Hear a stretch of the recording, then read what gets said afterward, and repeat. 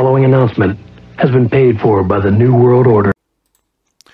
Tja, Freunde, es ist Wochenende und ich habe mir gedacht, ich reacte mal auf einen besonderen Kanal. Ich habe auch gefragt, ob ich das machen darf und äh, äh, ja, äh, Reactions sind richtig und wichtig, war die Antwort und vielen Dank dafür und ähm, ja, Schnorres Haters wurde auch vom Mimon schon äh, vorgestellt, äh, also nach mir, nachdem ich reacted habe. Ja, ich, ich, ich, ich. okay, äh, was steht hier oben TS? Äh, Draches Helfer. Ja, Draches Helfer, das sind besonders die Dinge, äh, ich muss euch mal ein Lob aussprechen, ihr recherchiert das ja wirklich, wirklich sehr, sehr gut. Es sind Dinge dabei, die kenne ich nicht, die wusste ich gar nicht, wer da alles dabei war. Äh, liegt wahrscheinlich auch daran, dass ich so ja, 2016, so 16, 17 so ins Drachengame dazugekommen bin und das erstmal beobachtet habe, was da los ist. Äh, auf jeden Fall würde ich sagen, wir gehen mal hier rein. Wenn Werbung kommt, schneide ich es natürlich raus. Ja, ich mache das nach wie vor auf meiner Xbox und ihr könnt mich auch Xbox-Hater nennen, von mir aus, aber ja, mir egal. Äh, witzig halt. Okay, Schnorres Haters, Draches Helfer, Folge 9, Thomas Schweighöfer.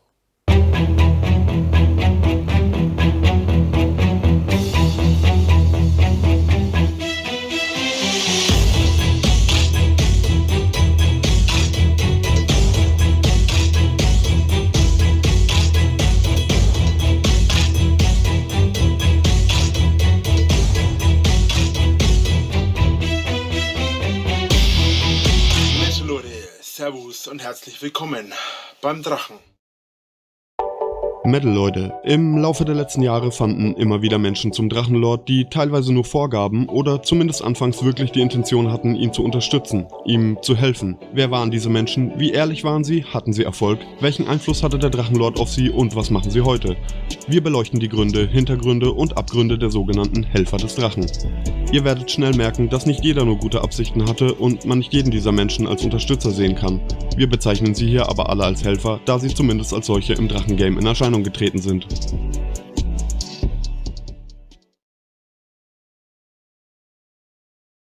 Ah, jetzt, jetzt zum Anfang. Für das Intro ah, muss ich sagen, das ist sowas von genial gemacht. Also das Intro schon alleine gefällt mir sehr gut, denn ihr seid kompetent, ihr berichtet das richtig, richtig geil. Da könnten sich manche Medien noch eine Scheibe abschneiden, so wie das hier gemacht ist. Wirklich wahr. Thomas Schweighöfer. Ja, gehen wir mal rein.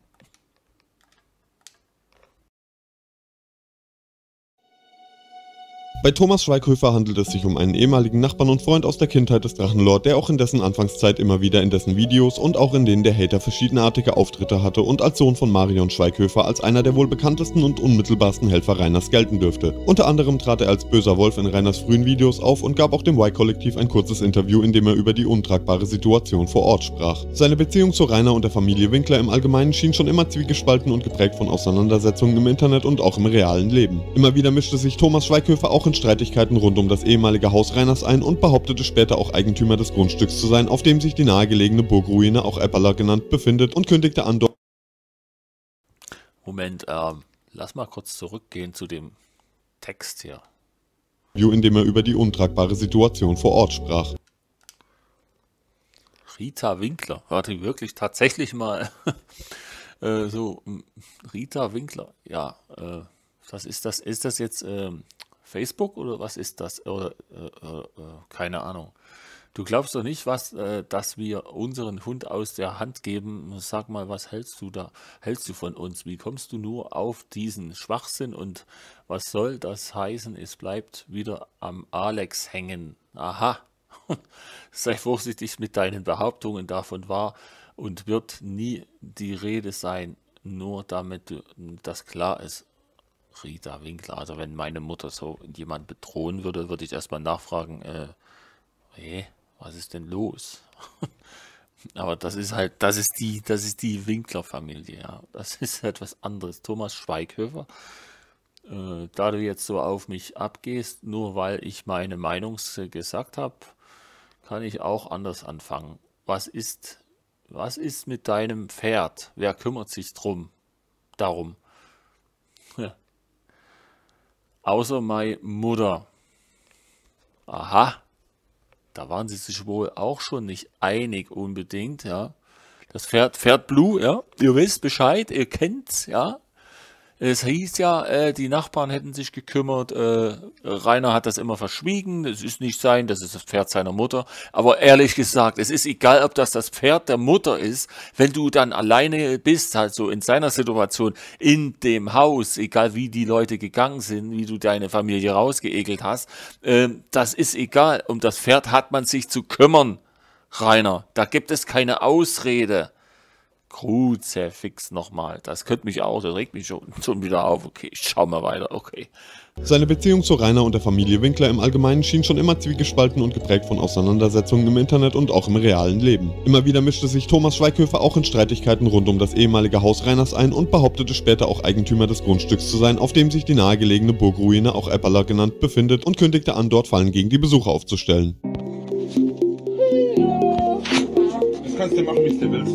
Das ist doch ganz cool, der, der, Wolf, den gibt's jetzt auch live zu sehen. Wolf, der böse Wolf, hallo. Eigentlich bin ich doch gar nicht so böse, ne? Ich bin bei Thomas Schweighöfer zu Hause. Wir wollen keinen Scheiß machen, sagen alle. Alle. Ausnahmslos. Man geht, man geht einfach in einer Wut da raus, will es beenden, kann aber nichts erreichen.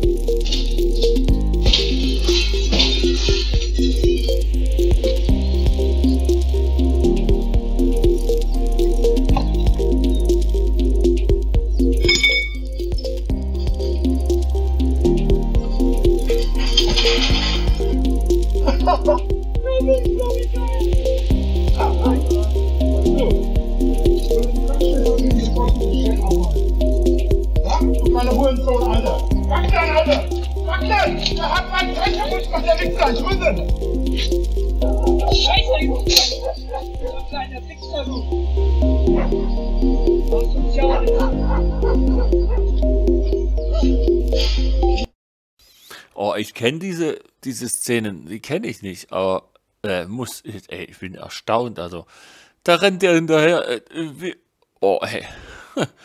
Äh, ja, mir fehlen die Worte. Das ist, äh, was ist das für ein Typ? Wie kann man. Boah! Packne, packne, schnappen Sie ja, Rainer. Äh, hm, das hätte er gerne auch jetzt. Aber jetzt ist er ja freiwillig.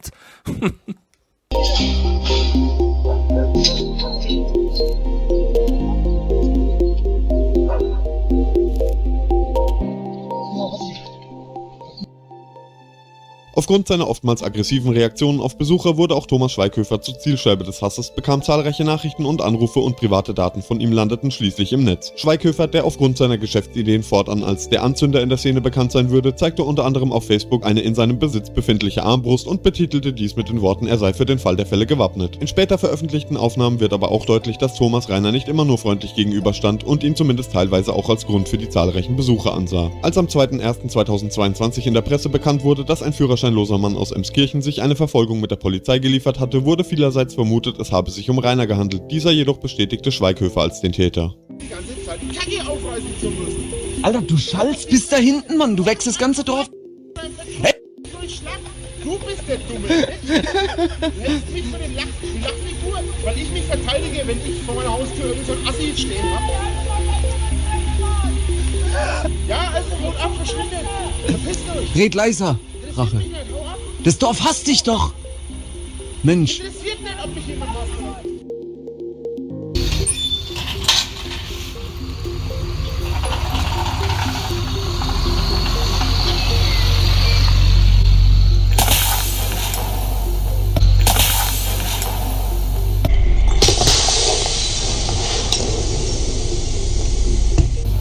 Das war nicht wir, gell? Das wart ihr, Alter, Nein, oder? Nein. Wo kommt das sonst her, ihr Wir haben ja keine Flasche dabei. Warum habt ihr einen Dachschaden, Das waren wir Alter? nicht. Das waren wir nicht. Woher kommt das sonst? Und warum Ey. filmt ihr dann, hä?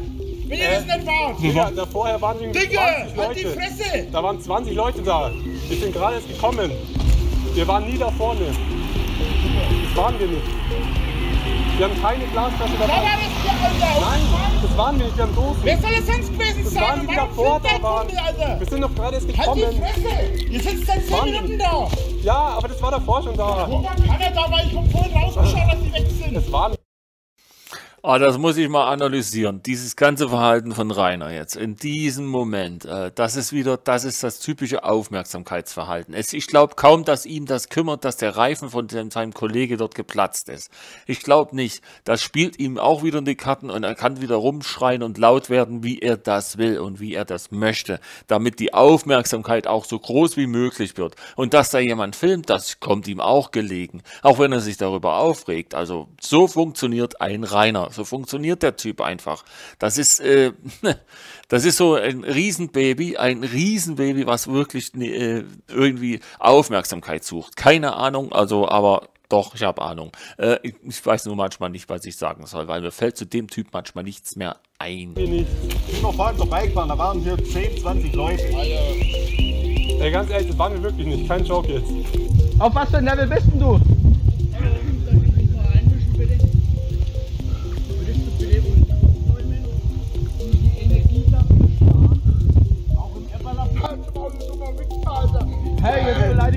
Deine Nachbarn.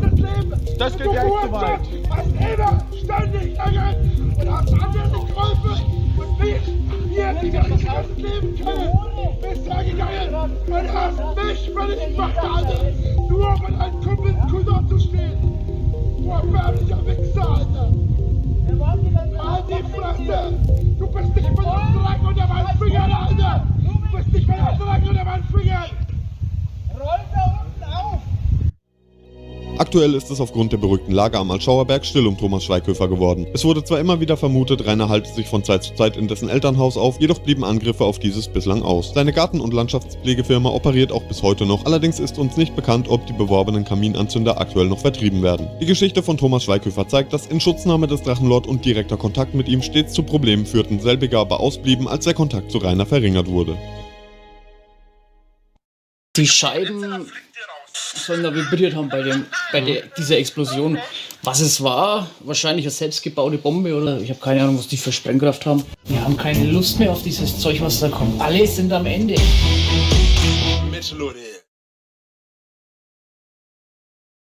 Und damit war es das auch für mein React-Video zum Wochenende. Oh ja, Leute, ja, hm, ja, Thomas Schweighöfer. Das ist auch so ein zwielichtiger Kunde gewesen. Ah, wie kann man den nur in Schutz nehmen? Ich verstehe es bis heute nicht, wie man den Drachenlord in Schutz nehmen kann, wie man ihm Geld spenden kann, wie man so einen wirklich, eine, keine Ahnung, äh, für einen Menschen, für den mir keine Bezeichnung einfällt, äh, überhaupt in irgendeiner Weise unterstützen kann, der sich als Mobbingopfer bezeichnet und selbst, äh, ja, ich meine, ihr kennt die Aussagen. Äh, es gibt ja nun, äh, wenn ich Mobbingopfer bin, dann dann, dann schreie ich nicht noch, äh, ja, okay, es war jetzt ruhig, hört mal, äh, fangt mal wieder an, mich zu mobben oder so. Das ist so, so funktioniert Rainer und er glaubt, er ist ein Mobbingopfer und sonst was. Ja, sechs Jahre Kampfsport und sonst was. Okay, ich beende auch jetzt das. Ansonsten rede ich mich hier wieder dumm und dämlich. okay, ich hoffe, euch hat's gefallen. Mir hat's gefallen. Vor allem äh, Schnorres Haters, vielen Dank dafür, dass ich das durfte und bis zum nächsten wenn wieder was dabei ist, was, wo ich wirklich nicht Bescheid weiß, ich wusste jetzt wirklich nicht Bescheid, ich wusste echt nicht, wer, wer, äh, bei manchen Dingen, bei manchen Dracheshelfers, da weiß ich nicht. Da bin ich dann äh, später eingestiegen und da, das ist mein Teil zum Drachengame, okay. Dann verabschiede ich mich mal. Ich bin weg. Tschüss. Verdammt, lauf, ja!